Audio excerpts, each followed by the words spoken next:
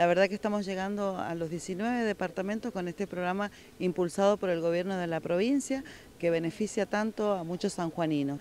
La verdad que es que en esta época de frío, donde la gente usa más el gas y están calefaccionándose un poquito más y hasta cocinando, eh, llega este programa impulsado por el gobierno a cada hogar de la provincia detectando también muchas irregularidades, que lo hablábamos recién fuera del aire, en garrafas con, los vencimientos muy, muy lejanos. O sea que vos decís, ¿cómo esta garrafa puede haber estado en un hogar?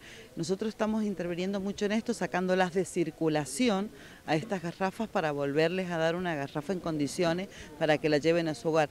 Y estamos trabajando puntualmente en esto, algo que nos ha hecho mucho ruido alrededor de los 19 departamentos que hemos detectado una venta ilegal de garrafas donde no llegas a ver, la garrafa la llenan hasta la mitad con garrafas vencidas, esto es la seguridad que tienen que tener eh, los sanjuaninos, estas condiciones que vamos a darlas a conocer para que sepan eh, cuando van a adquirir y comprar una garrafa.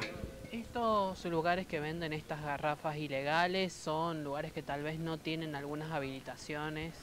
Sí, totalmente. Tienen que tener habilitaciones municipales y que puedan tener la venta de garrafa legalmente. Nosotros vamos a trabajar desde nuestra dirección porque la ley de defensa del consumidor, que es la 24240, estamos en el deber de seguridad del consumidor vamos a y en los vencimientos. Vamos a trabajar en un gran operativo para poder detectar esto eh, que está pasando en nuestra provincia.